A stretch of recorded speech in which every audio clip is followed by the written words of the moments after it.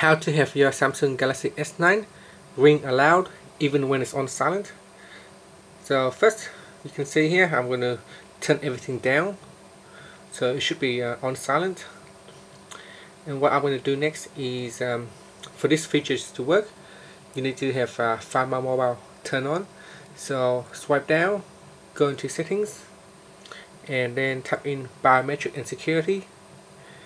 Then go down and tap on My Mobile. Now this function should already be turned on by default uh, if you have already signed into a Samsung account.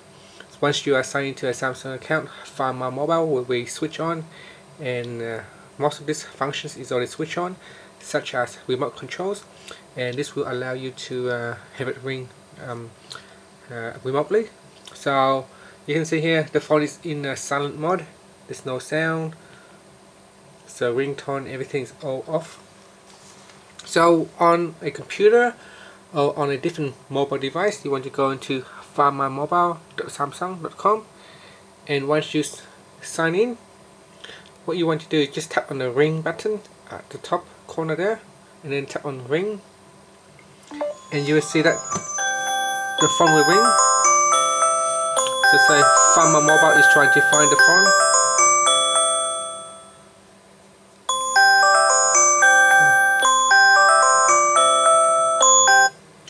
and that's it. So you can see even when the phone is in silent mode uh, it still be able to ring because you are trying to locate it.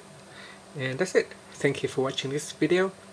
Please subscribe to my channel for more videos